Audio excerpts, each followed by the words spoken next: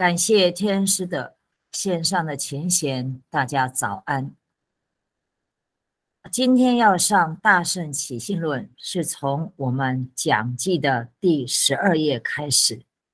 那在上课之前，想跟各位前贤分享一些在修行上的一些观念。从后学踏入到道场以后，就接触到不同道场的。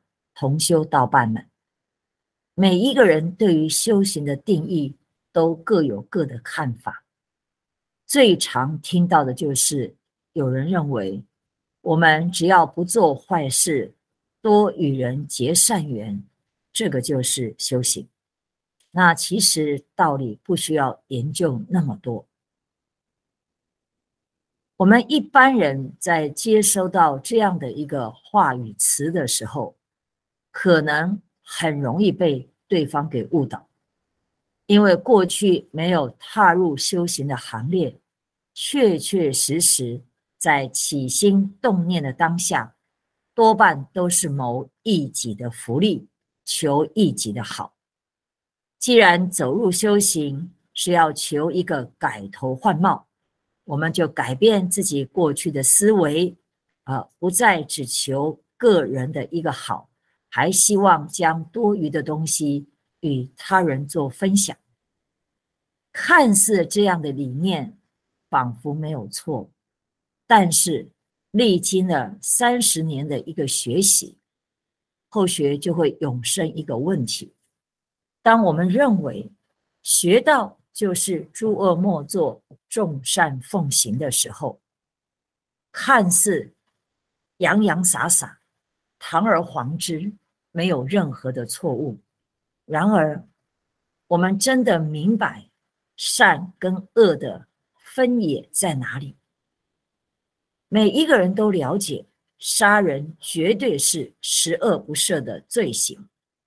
但是，如果我们不够清楚明白自己的言行举止带给别人的感受，然后在日常。行为当中，我们常常会言语尖酸，说三道四，带给别人体无完肤的伤痛的时候，请问你，这个不是恶吗？《桃园名圣经》里面，关圣帝君讲：“舌下有龙泉，杀人不见血。”他指的不就是口过吗？又或者是？我们尽管我们在外面会与人结一些善缘，做了财布施的行为，然而在日常生活立身处世的时候，我们自矜自高，目空一切，我行我素。请问你这样的行为，它是善的吗？所以在《礼记》上，它有这么一句话的记载。他说：“建国居民教学为先。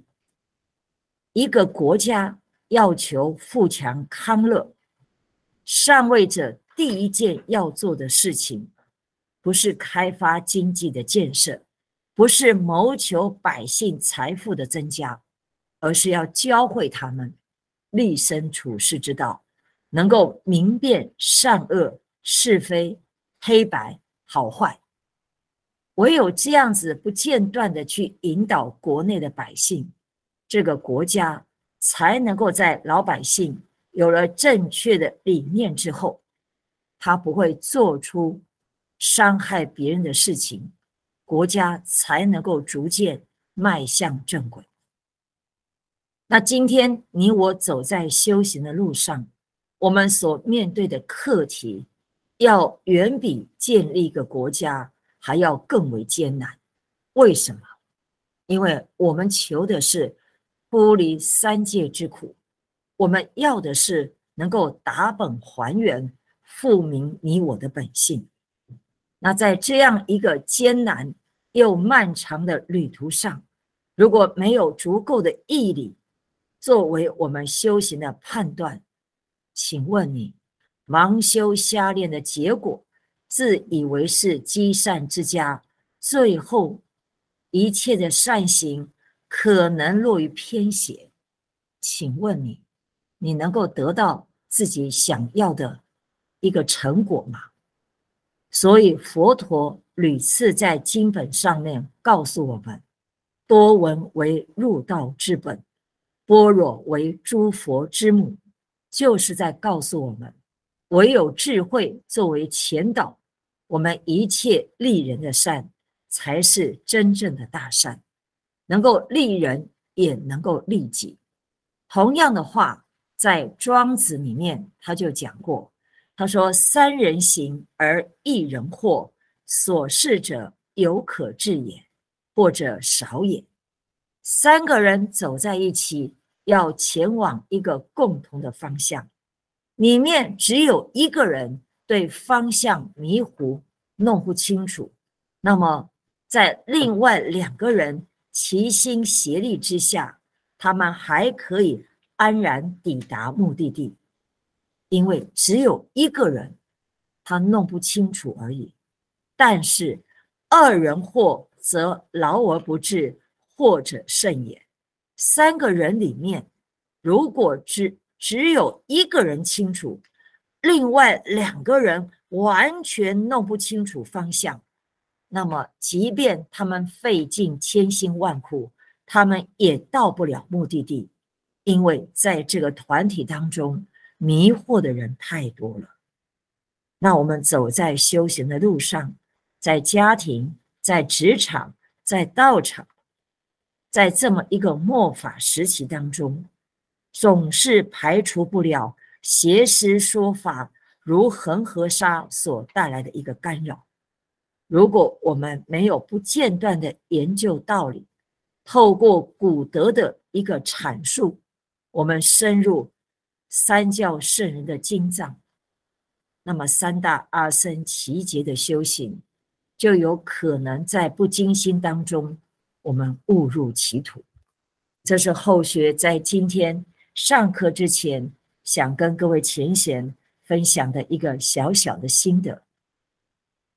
我们如果了解了修行的大大方向所必须具备的条件之后，那么我们不妨。鼓励我们自己，也去鼓励别人。不论我们前半生，我们的生活，它铺成了多少的酸甜苦辣，懵懵懂懂中，你我的半生岁月已经过了。在后半生，我们走进修行，在真理的熏习洗涤之下，我们好好把握，那这一生你就不会留下遗憾。接着，请前贤们翻到讲记的第十四页，进入到经文。未欲令众生除以舍邪智，起大圣正性，佛种不断故。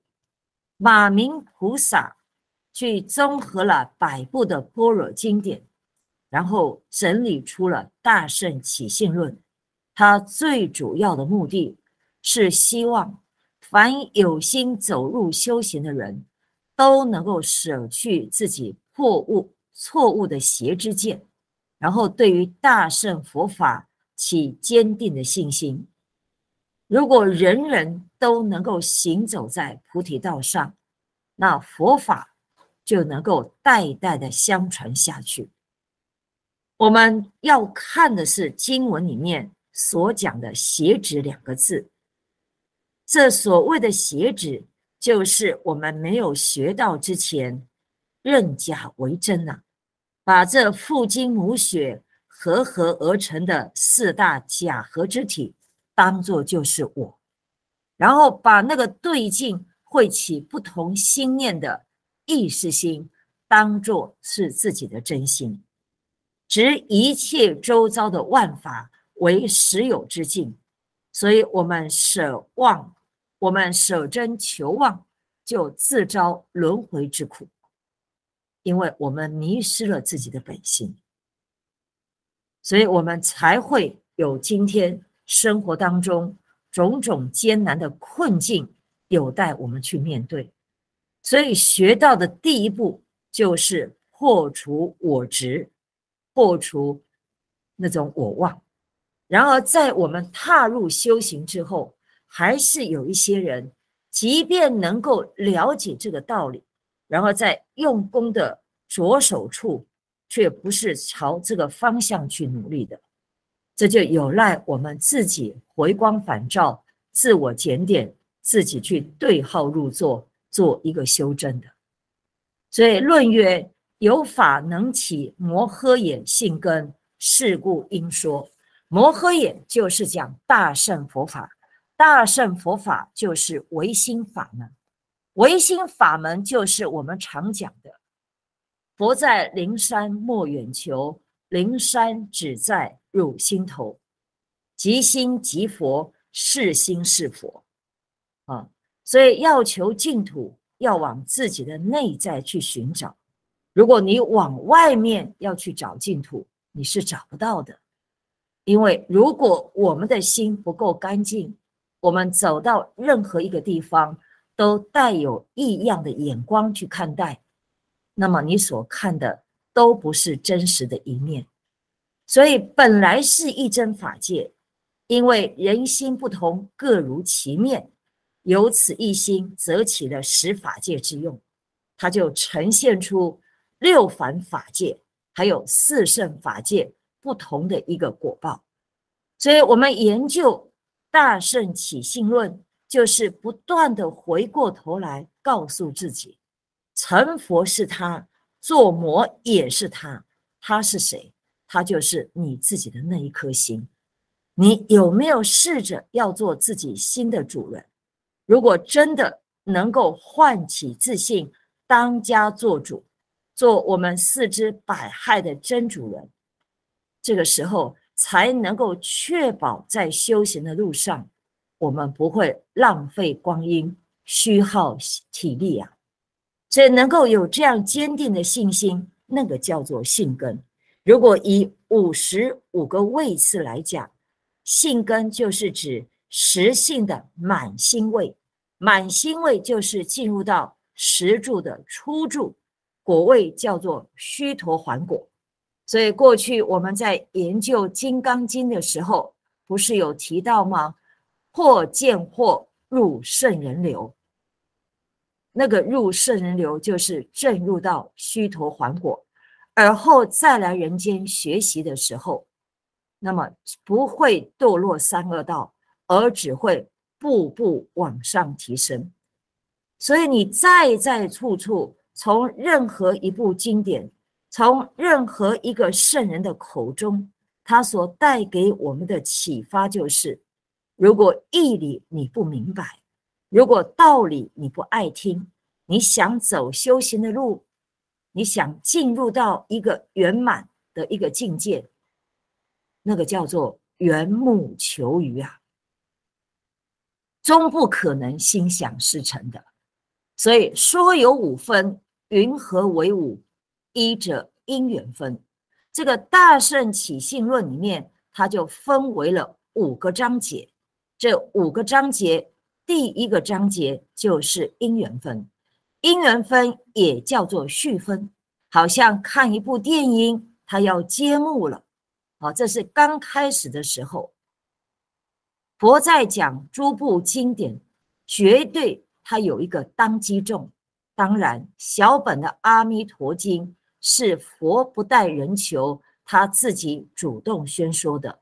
那至于其他的经典，一定有一个原因的发起，才会激发出佛在这一场法会上面讲的这些的内容。所以这个因缘分，每一部经众生的因缘不同，佛讲述的内容就不同，所以续分也叫做别续。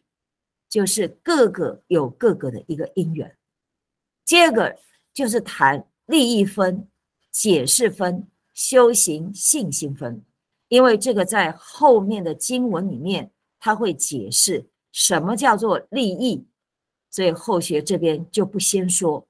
然后以我们课本的一个整理，大概在讲记的十六页到一百零一页当中。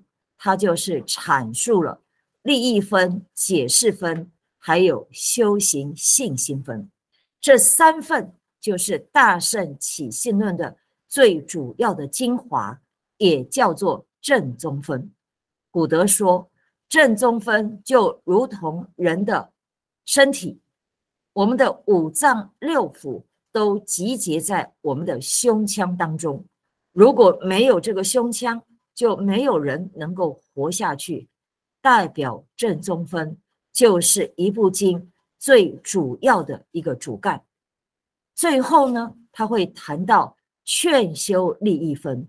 劝修利益分，就是在佛经里面常看到的流通分。佛鼓励我们这一部经典，你不要听闻了自己好就可以，应该要想方设法把它流通出去，使未来的任何一个人，他有心走修行的路，都因为得蒙法益。而不会蹉跎光阴。那劝修利益分是在大圣讲记的第一百零二页跟一百零三页，它占的篇幅相当的微弱。其实进入到流通分，也就代表这部经典已经解说进入到尾声了。接着我们就来谈马明菩萨集结了百部的般若经。整理出了《大圣起信论》，他主要的动机是什么？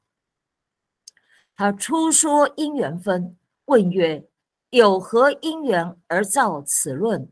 答曰：“是因缘有八种。”这个一问一答都是马明菩萨用问答的方式，方便他要解说的内容很清楚的能够陈列于外。让我们去研读，让我们去了解，这样的一个整理的方式，就很像《圆觉经》释迦牟尼佛跟十几位法身大士阐述的佛门的义理，也很像《大圣金刚经》里面释迦牟尼佛跟文殊菩萨的一问一答，就留下了《大圣金刚经》啊，这些都有相同的文体的一个记载。云何为八？他说：一者因缘总相啊。所谓因缘总相，就是虽然动机有八个，但是最主要的一个动机只有一个，那就是所谓为令众生离一切苦，得究竟乐，究竟乐，非求世间名利恭敬故。马明菩萨整理大圣起信论。只希望能够让阅读此部论藏的人都有离苦得乐的机会。我们认为，在社会上做一些志工、与人为善是好事，它确实也是好事。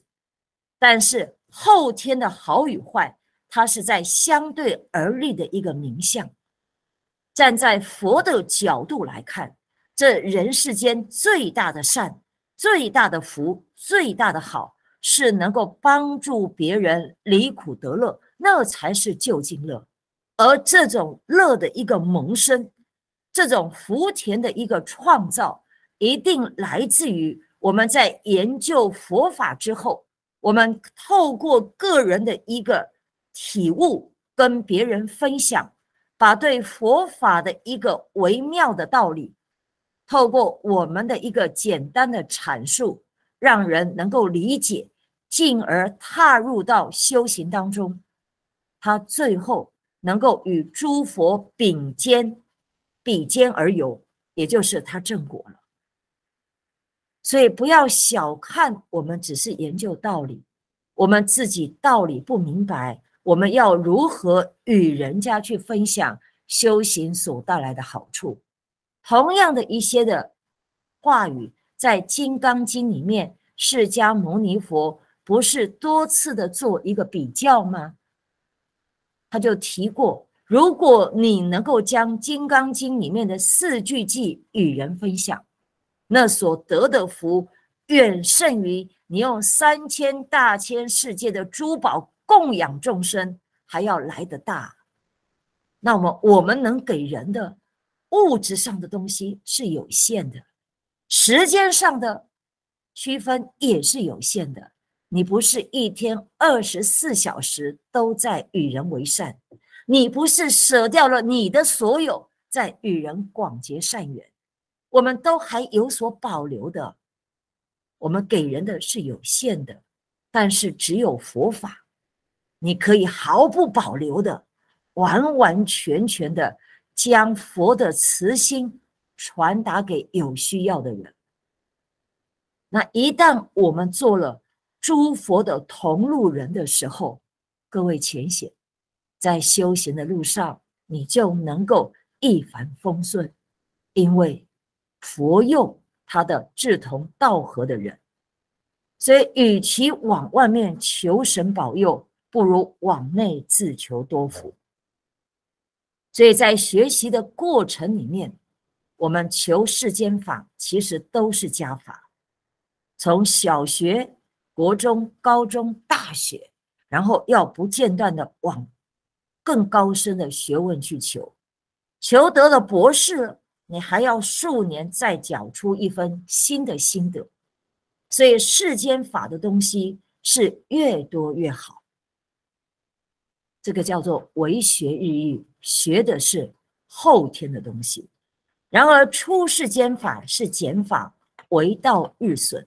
透过圣人言教的启发，我们减损自己的欲望，我们淡化自己的七情六欲，损之又损，以至于无。当所有的无名净化完毕之后，本来面目才能现前。所以有人学佛是为了让自己改变命运，他还是在谋一己之好，他没有不好。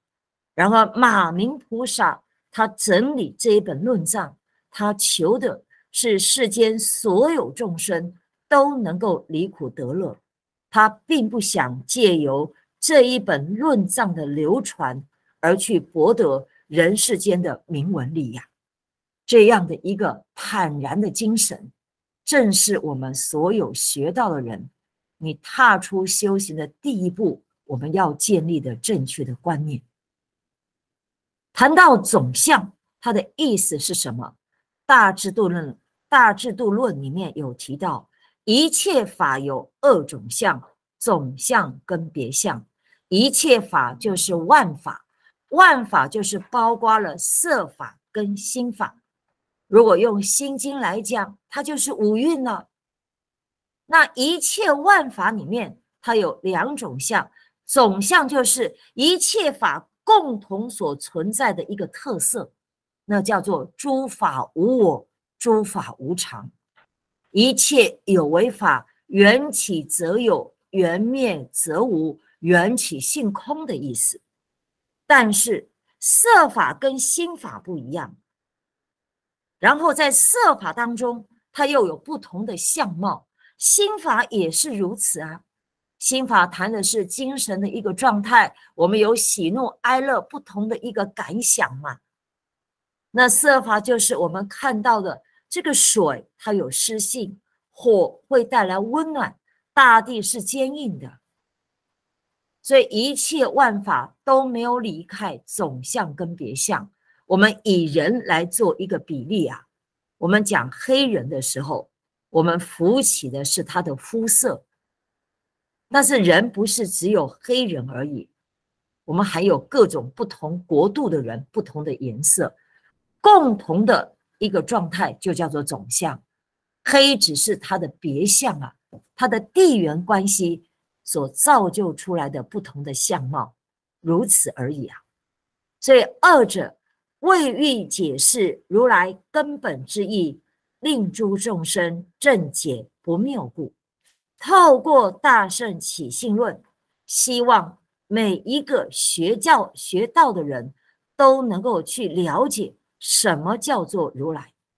大圣起信论，它阐述的是大圣佛法。大圣佛法，它就是要去兼善天下的。所以，透过这一本论藏的解说，让我们在修行的路上，不要去模糊了自己的方向，到最后变成自扫门前雪，不管他人瓦上霜的自了汉了。好，所以我们来看什么叫做如来。如来的真正的意思，就是你我所具的那一颗的真心啊。佛有此作，魔也由此而生啊。所以，我们如何在学习的过程，去除我们无始劫以来无名的染污，复明我们的本性，都是在这一颗心上面去大做文章啊。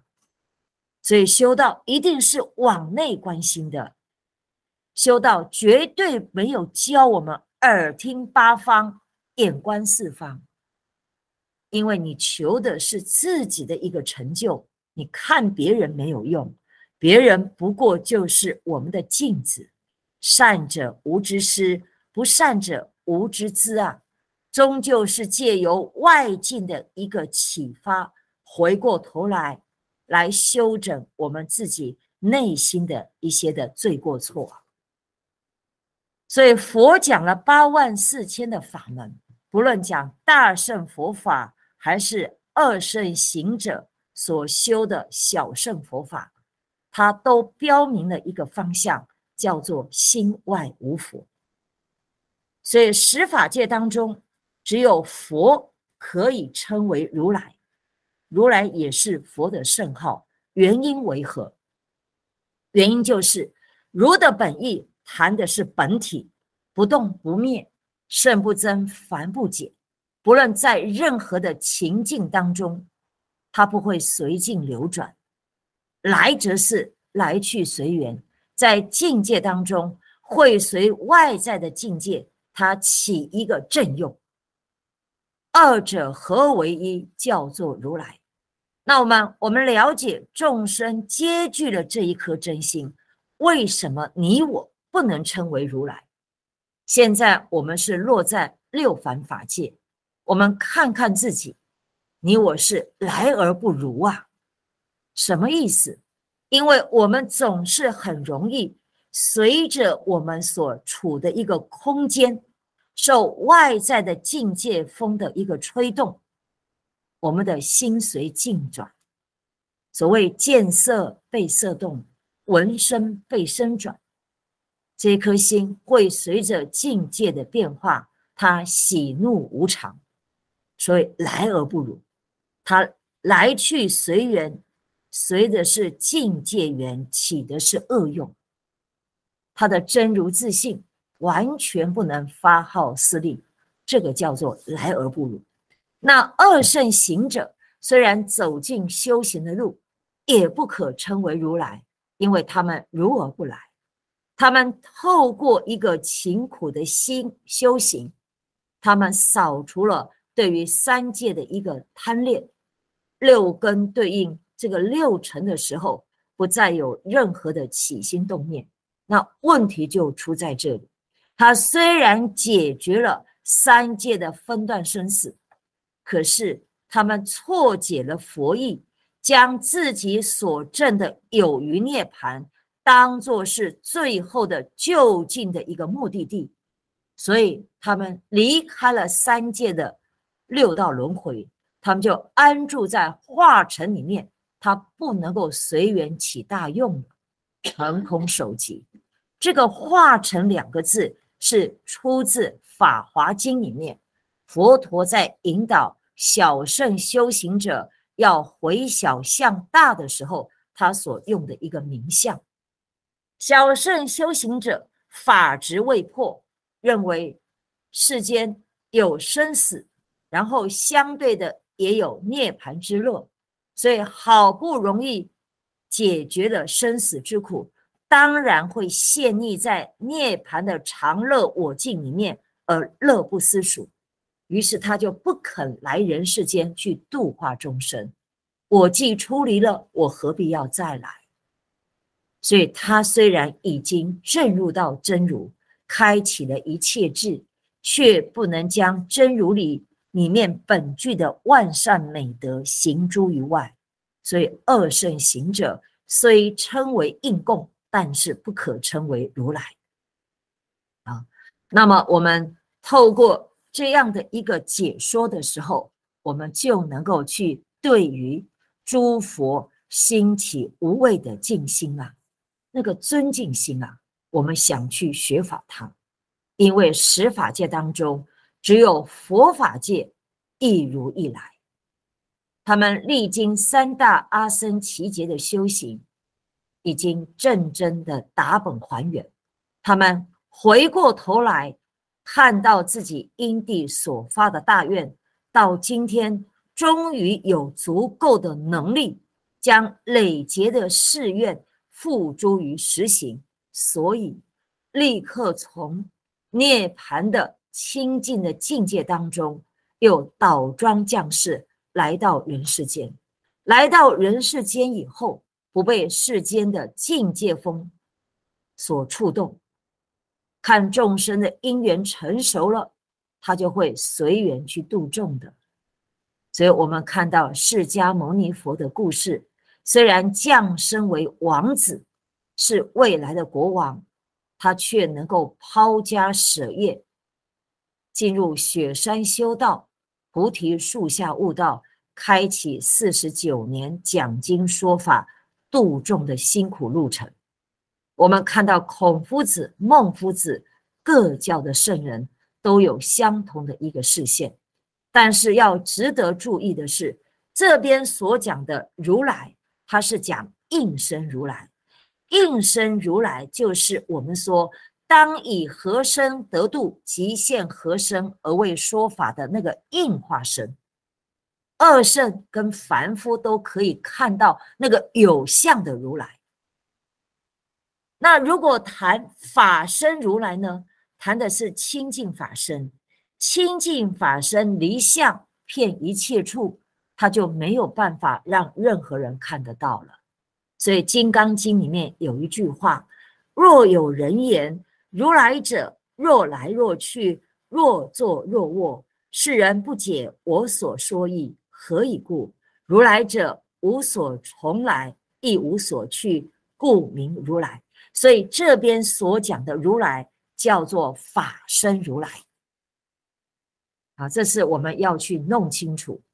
那法身如来，他也会视现圆满报身。然而圆满报身就不是给小圣行者看的，他是给立根器的登地菩萨他所看的。他视线的那个相，就会讲对的那个相。他所讲的一些甚深的法义呀，当然有一些三贤位的众生，他的根气也立，道理也明白，只是修行还不达到那个位，不达登地的时候，佛陀也会示现圆满报身，为他讲经说法。而你我一般所见的，就是应身如来啊，就很像两千多年前印度。悉达多太子所示现的佛陀一样，所以三者未令善根成熟众生于摩诃言法堪任不退信故。善根成熟指的就是实性未满心的人，他对于大圣佛法起坚定的信心，他再也不会退转到小圣的修行，不会做一个自了汉。他是勇于取法诸佛如来的精神，在他累劫的修行当中，都朝着大圣的方向去迈进。所以，我们线上这么多的前贤，您能够在求道之后，对于修行起坚定的信心，没有任何的怀疑，又能够依着诸佛各教圣人所说的。安于听闻佛法，净化自己，您就是踏出了大圣佛法最正确的第一步。那可想而知，只要有足够的恒心毅力，那么在未来的三大阿僧祇劫的修行之后，您交出的就是您现在所期待的那一张成绩单。我们复信了，我们复信之后。也能够像十方如来一样，乘愿再来啊，来度化众生啊。这是谈到马明菩萨整理《大圣起信论》的第三个动机。那我们补充了一份资料，这一份资料其实在《楞严经》里面，他就讲得很清楚。所谓的实性位，就是信心、念心、精进心、慧心、定心、不退心、戒心、愿心、护法心、回向心。这十颗心，十种心，不能讲十颗，它就代表我们在修行的路上，我们的进展如何。那每一种新的念头，就如它的文字所讲，是如此的简单易明，后学就不再多说。我只补充什么叫做念心，念心就是二六十中须臾不离道的意思。我记着我自己是一个学道的人，我知道我现在正在走修行的路，这个叫做念心。不论在任何一个时间空间里面，没有忘掉自己的身份，这就是实性位的念心。所以谈实性位，前贤们千万不要起那种粗浅的认识。我对道有信心，我就已经进入实性位，不对，你还要具足什么精进性，还要能够听闻道理，开展自己的智慧，还要能够渐渐锻炼自己对境不随境流转的那颗定心。然后我对道的一个坚定的认识，我的修行绝对不会往后退转，这些都在实性位里面。我们要逐次圆满的，圆满之后，我们才有机会进入到初住。每一个位次里面，实性、实住、实行、实回向，都有入、住、中这三个不同的分界。所谓的入，就是我刚踏入初性位的时候；中就涵盖了所谓的最后的第十性，就是回向性。那中间的从念心到所谓的护法心这一个阶段叫做住，也就是我们在培养自己对佛法的这个信心当中，你要分这十个位次，它的区分的间隔，后学也告诉各位浅显。我们既然要研究佛法，对于佛法的名相，总要有一个概括的认识嘛。四者未令善根为少众生修习信心故，这个善根为少，就是指实性的助心位啊。从第二性到第九性的人，他们对于佛法的信心不够，对于修行的毅力也不够，所以很容易受外面境界风的吹动，他就三心二意了，他就。怠惰了自己修行的这一条路，这个叫做善根为少。那么前贤，你就反过来问你自己，在我们学到的十年、二十年，乃至于三十年、四十年的过程当中，我们一路走来，我们的信心有足够吗？你说有，我现在的信心跟当初求道的信心一样，圆圆满满，毫不欠缺。这是值得恭喜的。那接着要问，在这个当中，我们的戒呢？我们的愿呢？我们对于大道的一个维护的那颗心呢？我们有在吗？当我们看到一个人，我们还会说三道四；当我们碰到一件事不太圆满、不如己意的时候，我们的心还会怠惰。各位请写。这个都叫做信心未熟，您还是未在实性位的初信而已啊！我刚踏入这个道场，所以当我们在道场里面同修道伴，有了一些纷争，而我们不懂得退让，我们无法去原谅、去包容，各位浅显，就要回过头来叮咛自己：我是善根为少的众生啊。我还有努力，有必要去继续加强。那所谓的有漏善，他谈的就是有一些人在修行的过程里面，他的修行不干净，他是寄望透过修行得到一些现实生活的满足，也就是有贪爱之心。我财不施得富贵，法不施得聪明，无畏施得健康。这是刚刚开始走道场给我们的一个方便的引导。但是你把方便当作是真实，念念不忘得富贵、得聪明、得健康，这个就叫做有漏善了。你有贪爱之心，你贪爱人世间的这些种种点点，那么你就离不开这个地球村所带来的一个诱惑力啊。所以善根为少，指的就是这两方面学到的人。第五者，为是方便消恶业障，善护其心，远离痴慢，出邪往故。方便就是因材施教的另外一种说法。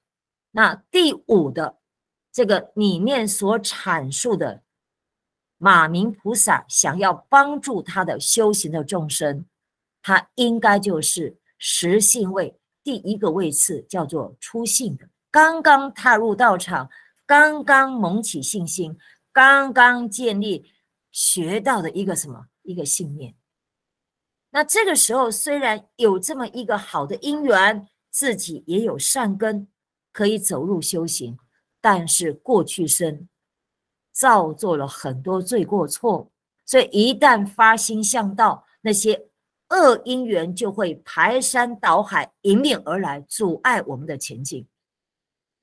所以毅力不够充实的前提之下，很容易就退出修行的行列。那在《大圣起信论》里面，马明菩萨也为这样的善根微弱的众生讲了佛陀给我们的一些的道理，方便我们去消冤解业。那这些的道理就是礼佛、忏悔、持戒、诵经。再艰难的一个考验，都不要忘记，凡事必有前因。如果没有过去生的造作，就没有今生因缘际会所带来的一个苦果。所以，当遇到逆境的一个打击的时候，不要只有埋怨，而是要能够回过头来检点自己。那已经成为历史，我该如何去消冤解业呢？诵经，不论有钱没钱，你诵经，以一颗真诚心，将我们所诵经的功德回向给十方法界，它就能够让我们修行的路上倍感轻松，慢慢摆脱那些邪之见所带来负面的影响啊。所以，如果在现实生活里面，现在是六万多年的一个大清算，无论年轻的、年长的、富的、贫的、聪明的、愚笨的，总会在业力的追追讨之下，我们的肉体会蒙受一些痛苦。在我们生病的时候，所带来的启示是什么？我们应该马上要能够有一个警觉性。身为苦本，我们有这个色身，我们才会有众苦所及的烦恼缠绕啊。然而，这个色身的由来是源自于我有欲求之心啊，我贪情，我贪爱，我贪名，我贪利，所以才会有这四大假合之体的一个呈现嘛。所以现在受苦了，明白了。对于色身起厌离之心，我们才能够在修行的路上不被这些病痛的苦而耽误了我们前进的脚步。如果病很重了，也不要惶恐，我们发愿往生弥勒净土。所以在过去的经典研读的过程里面，后学就不难发觉，其实佛陀屡次告诉我们。在遇到病痛缠绕的时候，要以苦为师啊！借由这样外在环境的打击，反而加速我们要脱离三界六道的那个坚定的信心。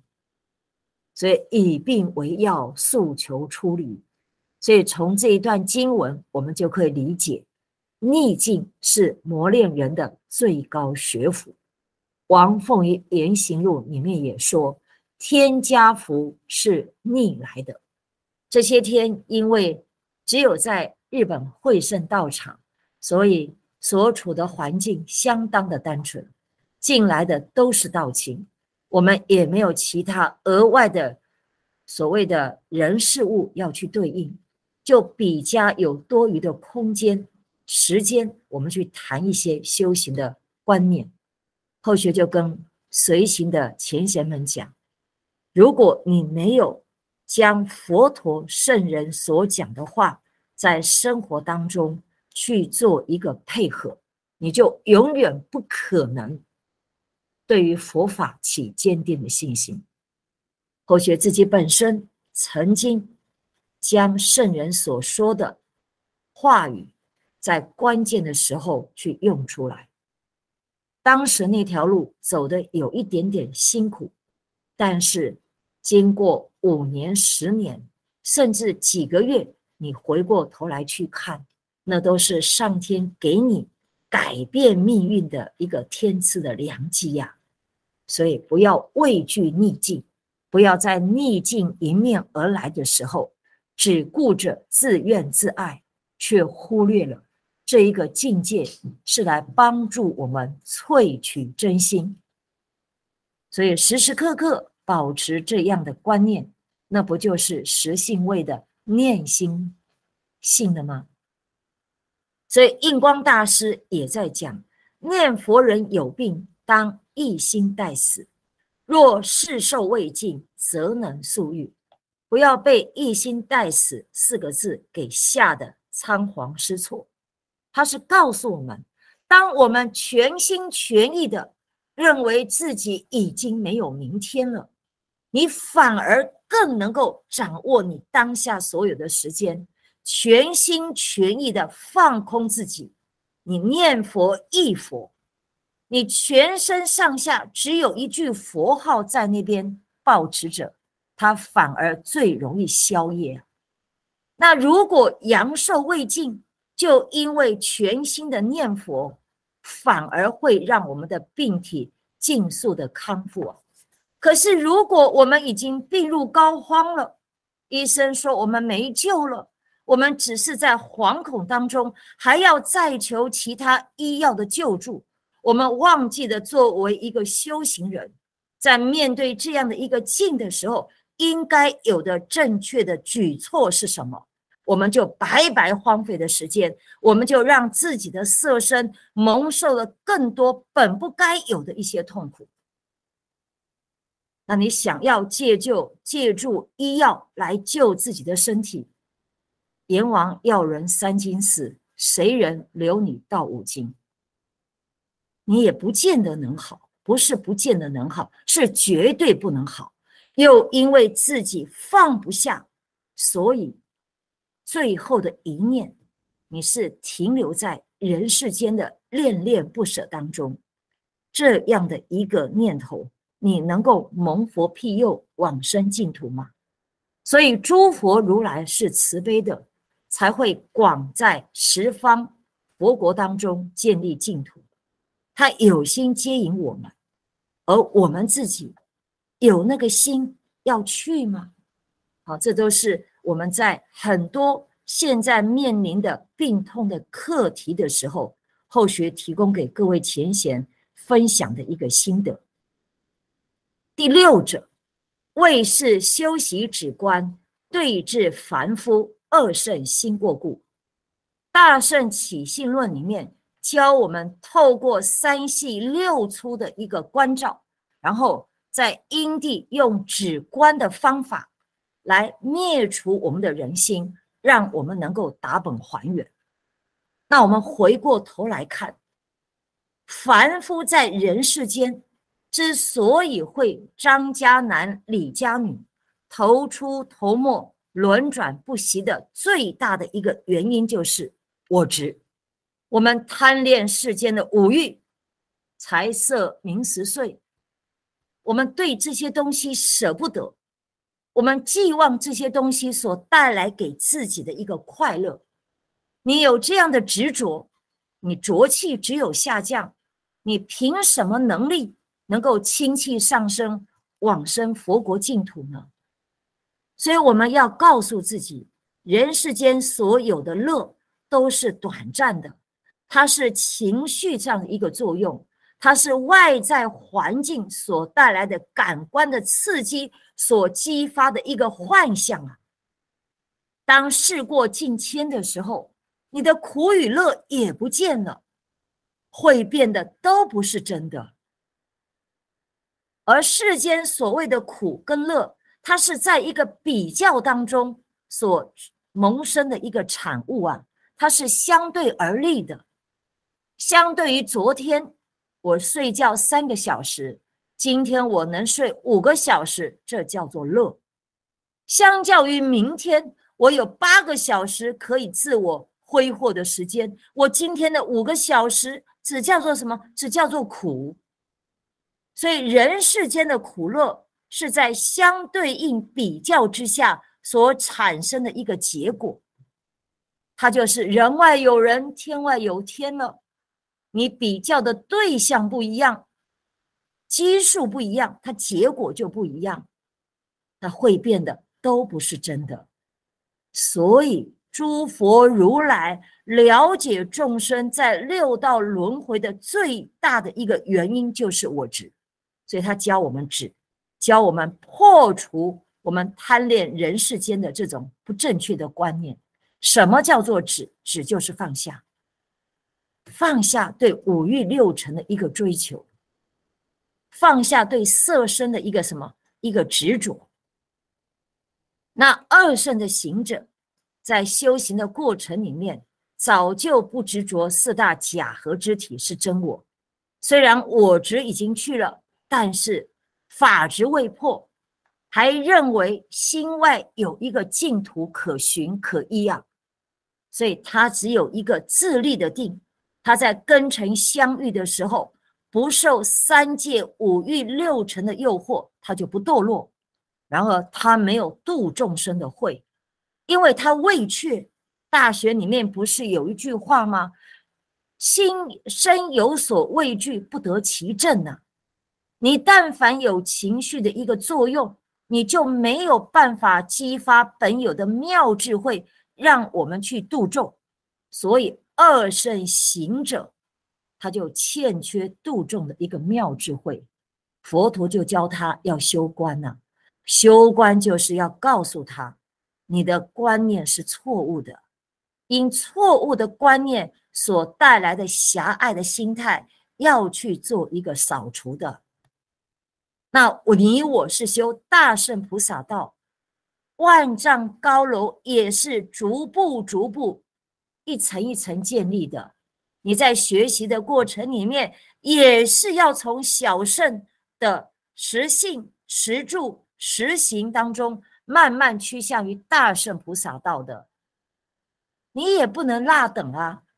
所以止与观是所有在因地修大圣佛。法门的人，你必须具备的一个正确的观念，还要长养的一个修道的能力呀。综合这两点，我们来将止观做一个解说跟定义。止就是奢摩他，先止息自己的妄念，你对境不动念了，境界与你不相干了，自然就泰山崩于前而色不改，这个叫做定。你心不遂境转了嘛？你外离一切境界相，请问你，你还有什么贪可言呢？就没有了嘛？你就能够渐次复原你内心里面的那种清净无染。你在一切境界风里面，你旁若无物，你的心就够干净。这个叫做止，所以只是教我们舍欲，教我们离念的，它就是三宝心法的第二宝。观，梵语称为毗婆舍那，观是往内观，不要往外看呐。透过三不离研究各教圣人经典，我们有足够的智慧来观察周遭的一切的人事物，然后透过人事物的启发，往里面看我们自己心态的一个变化。我们如果逐步的理解到这个四大是虚妄的，对镜而起的那一颗心，意识心。也是虚妄的，境转心就转，刹那的生命没有一分一秒是能够留住不动的。所以，当我们明白了以后，你就因为看破，你放的会更多。所以，放下看破，看破放下，这两者是相辅相成，何者为先，何者为后，没有一定的次第的。但是，总知道。我的心如果不够干净，我的妄念如果澎湃不息，你是没有能力去内观的。所以进入到第一宝之前，一定要有二宝跟第三宝的一个辅助，也就是持戒，然后能够透过五字真言的运转，我们离开妄念的一个缠绕，然后心平气和之后，才经由第一宝。往里面去观呐，所以定功是从修止而来，不是你坐在那个地方四平八稳身不动，你就能止，因为会让你动的不是你的四肢百骸，是我们的心念啊。所以修止的人以取静为行，以极静清安为相。什么叫做取静？修道人。他对于任何一个境界，他不排斥，热闹也好，安静也好，都能够入境随俗。可是对于自己本身而言，他能够乐于取静。在永嘉大师正道歌里面，不是有一句话：“常独行，常独步，达者同游涅盘路。”在师尊谈道录里面，天然师尊不也告诉我们？修道人一定要懂得，在一些的境界风吹动的时候，要让自己的心去沉淀吗？这个沉淀的作用就叫做取静。所以，当我们这个行为、这个修养越高的时候，你就能够现那个清安之相，那个叫极静清安。极尽清安，就是你对于周遭的功名、富贵、名闻利养。你不再投以关爱的眼神了，这个就是定功所带来的好处。慧从修观而来，我观世间一切万法都是虚幻不实的，然后唯一真实存在的义理就是一切有情众生与我来处是一啊，行书体不书，所以我自己明白了，我看破了。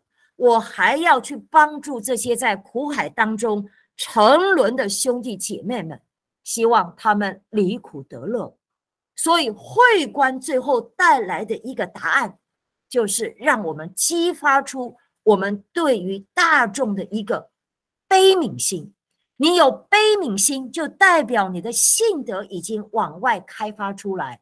性德里面的最基本的特质叫做爱人之心、敬人之心，你自自然然就能够普行恭敬，你自自然然在所有的人当中，你不起分别，你不会因为对方的好恶而去增添了你自己对他救度与否、帮助与否的那一种心念，不会，不会因为外境而让自己的悲心。有入任何的一个减减损，所以慈悲喜舍四无量心从哪里来？